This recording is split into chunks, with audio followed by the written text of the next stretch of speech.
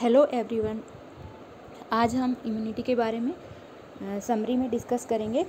तो हमने जो पहले जो लेक्चर मैंने डिलीवर किया था, उसमें आपको मैंने बताया था टाइप्स ऑफ़ इम्यूनिटी ठीक है? उसमें हमने डिस्कस किया था कि जो इनेट इम्यूनिटी होती है, वो क्या होती है, और एक्वायर्ड इम्यूनिटी होती है, वो क्या होती है, ठीक है? इनेट के बारे में हम, यहाँ पे मेन मेन पॉइंट्स हैं, वो दोबारा से डिस्कस कर लेते हैं।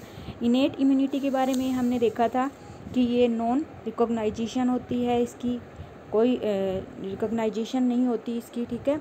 क्योंकि ये कोई भी एंटीजन को जो बॉडी के अंदर हमारे एंटर करेगा डिज़ीज़ होएगी तो उसको रिकॉग्नाइज नहीं कर पाएगा कि कौन, किस टाइप का एंटीजन है, ये बैक बैक्टीरिया है वायरस है, या अदर टाइप का कोई माइक्रो ऑर्गेनिज्म है, ठीक है? इसको सारे एक जैसे ही लगेंगे। दूसरा क्या है? ये नॉन स्पेसिफिसिटी शो करेगा। नॉन स्पेसिफिसिटी मतलब किसी के लिए स्पेसिफिक नहीं होगा। कोई बैक्टीरिया एंटर कर गया है, कोई वायरस एंटर कर गई या कोई अदर पैथोजन एंटर कर गया है तो ये उसी टाइम एक्टिव हो जाएगा। ऐसा नहीं है कि वायरस आएगा तभी एक्टिव होएगा या कुछ, सपोज़ करो ए एंटी, एंटीजन आ गया तब एक्टिव करेगा, बी एंटीजन आ गया तब एक्टिव करेगा, ऐसा कुछ भी नहीं होता इसमें, ठीक है? तो ये नॉन स्पेसिफिक होता है और इसके अंदर कोई मेमोरी सेल नहीं बनते हैं।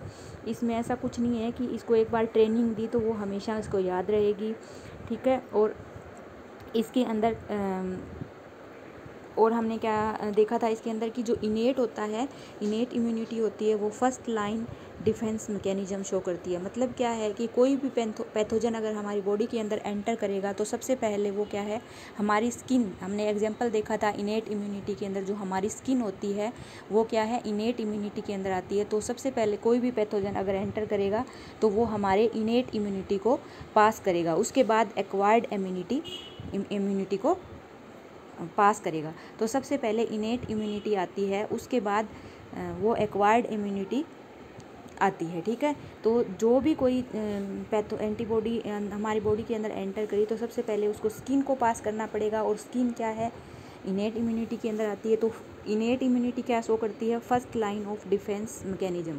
और जो एक्वायर्ड इम्यूनिटी होती है, दूसरी हमने बात करी थी कि एक्वायर्ड इम्यूनिटी इम्यूनिटी दूसरा टाइप की तो एक्वायर्ड इम्यूनिटी के अंदर क्या होता है, वो second line of defence mechanism होती है। जब इनेट कोई भी, हम, मैंने आपको बताया था, कोई भी एंटीजन अगर बॉडी के अंदर एंटर करेगा तो सबसे पहले वो इनेट इम्यूनिटी उसको सबसे पहले देखेगी। उसके बाद अगर इनेट इम्यूनिटी उसको नहीं मार सकती तो उसके बाद में क्या है एक्वायर्ड इम्यूनिटी एक्टिव हो जाती है और वो उसको मारेगी, ठीक है? तो ऐसा होता है। तो कोई भी, किसी भी टाइप का एंटीजन फ़र्स्ट टाइम अगर एंटर करेगा तो उसको इनेट इम्यूनिटी को पास करना ही पड़ेगा। उसको, उसमें से जाना ही पड़ेगा, ठीक है? तो ये हमने इसके एग्जांपल भी देखे थे इनेट इम्यूनिटी के skin body temperature stomach SCL ठीक है? जो एसिड होता है बॉडी के अंदर, वो, ये सारा कुछ देखा था हमने। और हमने ये भी बात करी थी कि जो इनेट इम्यूनिटी होती है, वो बाई बर्थ डेवलप हो जाती है। जब हम पैदा होते हैं, तभी से हमारे अंदर ये इम्यूनिटी आ जाती है, ठीक है? और उसके बाद में हमने बात करी थी कि एक्वायर्ड इम्यूनिटी एक्वायर्ड इम्यूनिटी के अंदर आपने जो भी पॉइंट्स आपने रखे थे इनेट के अंदर, वो सारे के सारे क्या है एक्वायर्ड में अपोजिट होंगे। मतलब वो क्या था? इनेट क्या थी? नॉन स्पेसिफिक थी। तो एक्वायर्ड क्या होएगी? स्पेसिफिक होएगी। और एक्वायर्ड में क्या है? मेमोरी सेल बनेंगे। इनेट के अंदर कोई मेमोरी सेल नहीं बन रहा था। मेमोरी सेल के बारे में हमने कल डिस्कस कर लिया था। अब अगर कोई भी एंटीजन, कोई पैथोजन पैथोजन को ही एंटीजन कहते हैं, हम कोई भी एंटीजन अगर बॉडी के अंदर एंटर करेगा तो एक्वायर्ड क्या करेगी? उसको स्पेसिफाई करेगी। उस, ये वायरस है, बैक्टीरिया है या कोई अदर पैथोजन है तो उसको क्या है स्पेसिफाई करने की पावर उसके पास होती है। इनेट के अंदर ऐसा कुछ भी नहीं होता, वो सभी को एक जैसा समझेगी, ठीक है? ये हमने बात की थी कल भी। अब आगे नेक्स्ट टाइप के बारे में अगर आगे हम क्या है नेक्स्ट टाइप के बारे में बात करेंगे। तो अब क्या है एक्वायर्ड एक्वायर्ड को हम एडेप्टिव भी बोलते हैं। एक्वायर्ड को क्या बोलते हैं हम? एडेप्टिव इम्यूनिटी भी बोलते हैं। अब एक्वायर्ड या अडेप्टिव इम्यूनिटी के भी अगेन टाइप होते हैं। तो इसके दो टाइप फर्दर दो टाइप में डिवाइड होती है। ये एक तो नेचुरल एक तो नेचुरल इम्यूनिटी और दूसरी क्या होती है? आर्टिफिशियल तो हम सबसे पहले नेचुरल के बारे में बात करेंगे, फिर हम आर्टिफिशियल के बारे में। आप अपनी कॉपी में साथ साथ में नोट्स बना लेना। ठीक है? तो नेचुरल इम्यूनिटी आर्टिफिशियल अब आपको ये पता है कि जो एक्वायर्ड और अडेप्टिव इम्यूनिटी है, वो हमारे बर्थ के बाद हमारे अंदर एक्वायर होती है। एक्वायर मतलब बाद में आती है वो। ठीक है? वो बर्थ के टाइम बर्थ के साथ ही हमारे अंदर नहीं आती, हमें पैदा करनी पड़ती है बाद में। ठीक है तो ये दो टाइप की होती है, नेचुरल और आर्टिफिशियल। नेचुरल में क्या होगा? नेचुरल, जैसे हमें कोई, सपोज़ करो हमें फीवर हो गया, ठीक है? कोई हमारे सपोज़ करो हमें कोविड हो गया, कोविड होने से हमें फीवर हो गया तो वो क्या है? नेचुरल है। अपने आप कोई एंटीजन बॉडी के अंदर एंटर किया और बॉडी ने उसके अगेंस्ट क्या है? एक्टिवेशन शो किया और हमें फीवर हो गया, उसके साथ लड़ने के लिए एंटीबॉडीज़ बनी और हमें फीवर हो गया। तो वो क्या है? नेचुरली हुआ। अब क्या है? अगर हम देखें आर्टिफिशियल तो आर्टिफिशियल में क्या होगा कि आर्टिफिशियली हमने डेवलप किया। जैसे हमें कोविड हो गया तो कोविड से बचने के लिए हमने कोई वैक्सीन ली। ठीक है? वैक्सीनेशन करते हैं। तो आपको पता है वैक्सीनेशन के टाइम आपको फीवर होता है। तो जो वैक्सीनेशन के टाइम आपके अंदर फीवर आया, वो आपने आर्टिफिशियली क्या है? डेवलप किया। वो ऐसा नहीं है कि कोविड हुआ तब आपको डेवलप हुआ। हम फीवर की बात कर यहाँ पे कोविड की बात नहीं कर रहे तो ये क्या है? आप समझ गए होंगे अच्छे तरह से, नेचुरल और आर्टिफिशियल के अंदर डिफरेंस क्या होता है, ठीक है? अब फर्दर नेचुरल को हम टू टाइप से डिफाइन कर सकते हैं। नेचुरल फिर आगे फर्दर टू टाइप की होती है, active immunity, acquired natural active immunity और एक्वायर्ड अगर हम पूरा नाम लें इसका तो एक्वायर्ड नेचुरल एक्टिव इम्यूनिटी और एक्वायर्ड नेचुरल पैसिव इम्यूनिटी। मतलब नेचुरल इम्यूनिटी होती है, वो फर्दर दो टाइप की होती है, एक्टिव और पैसिव, ठीक है? तो एक्टिव में क्या होगा? एक्टिव में ऐसा होता है कि कोई एंटीजन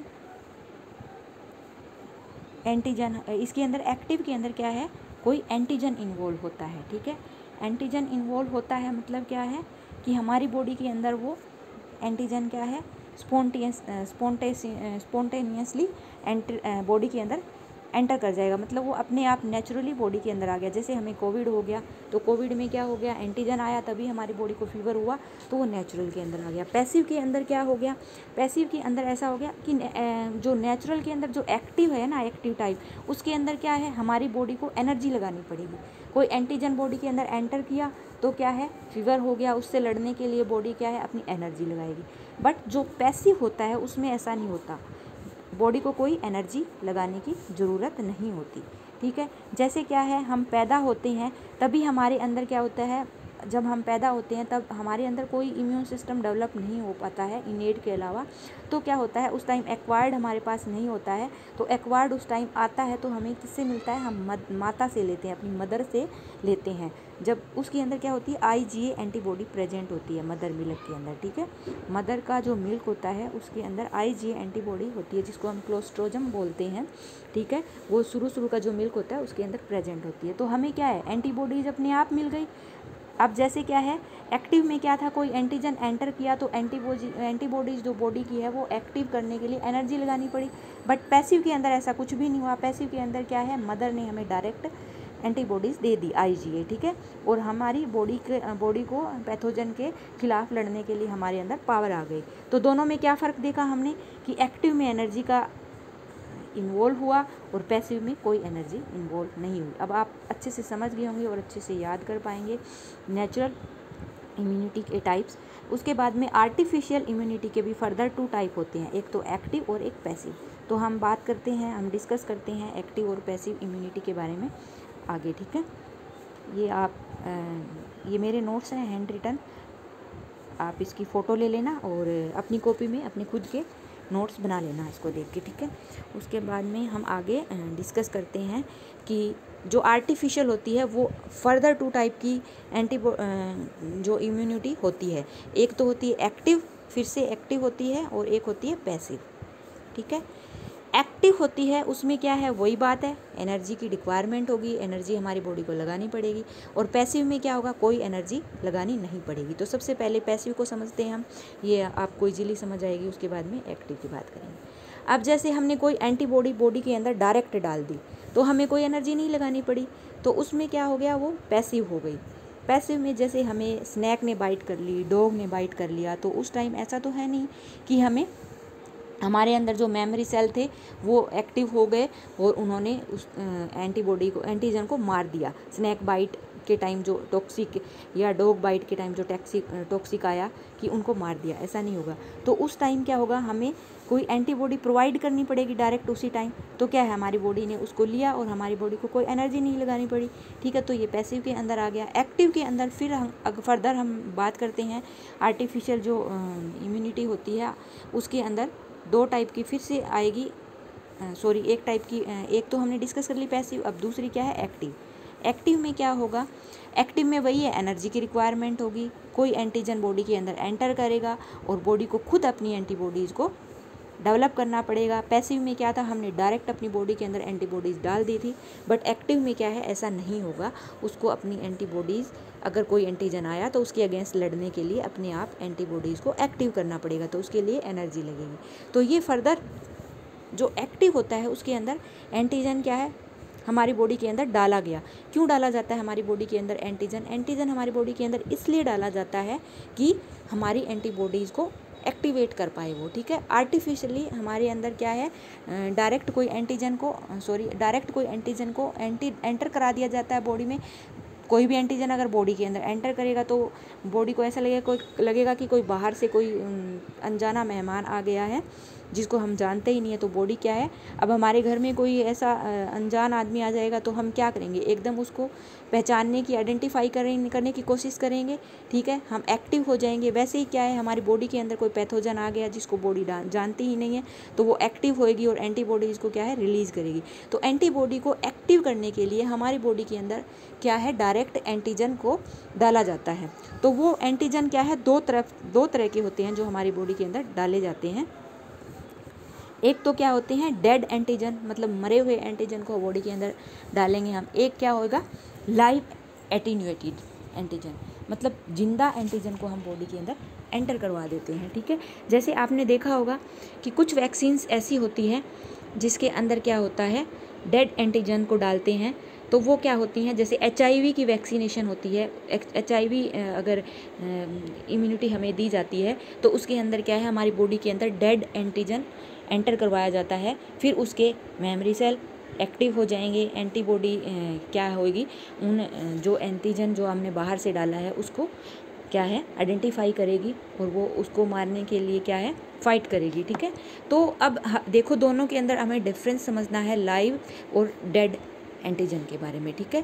तो जो अब अब इसका भी, हमने इसका एग्जांपल ले लिया डेड का कि एचआईवी का और लाइव का क्या एग्ज़ाम्पल होगा? लाइव के अंदर अगर हम बात करें तो इसके अंदर जैसे हम पोलियो की दवाई देते हैं, वो इसका एग्ज़ाम्पल हो गया, ठीक है? इसके अंदर क्या है? हम लाइव एंटीजन को बॉडी के अंदर एंट्री करवाते हैं और फिर लाइव एंटीजन बॉडी के अंदर जाएगा तो फिर क्या है, हमारी बॉडी एनर्जी लगाएगी और एंटीबॉडीज़ को एक्टिवेट करेगी और उसके अगेंस्ट फाइट करेगी, ठीक है? तो इन वैक्सीन जो दवाई दी जाती है पोलियो की और जो एचआईवी की, उसके अंदर क्या होता है, डेड, एचआईवी के अंदर डेड एंटीजन एंटर करवाया जाता है बॉडी के अंदर और जो पोलियो होता है, उसके अंदर क्या है लाइव एंटीजन बॉडी के अंदर डाला जाता है। अब दोनों के अगर हम देखें तो साइड इफ़ेक्ट भी होंगे, देखो, जैसे डेड एंटीजन है, उससे कोई हार्मफुल इफ़ेक्ट नहीं होगा। मतलब ऐसा भी हो सकता है कि अगर हमने लाइव एंटीजन बॉडी के अंदर एंटर करवाया तो हमें क्या डिज़ीज़ भी कोज हो सकती है, क्योंकि वो बॉडी के अंदर जाकर क्या है ट्रांसक्रिप्शन भी कर सकता है ट्रांसलेशन भी कर सकता है और मल्टीप्लिकेशन भी कर सकता है। ठीक है? तो उससे क्या है, कोई हमारी बॉडी के अंदर डिज़ीज़ भी हो सकती है, ठीक है?